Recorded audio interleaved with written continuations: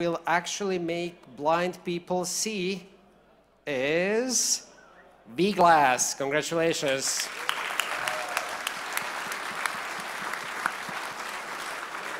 Thank you all. You did an amazing job. Thanks, guys.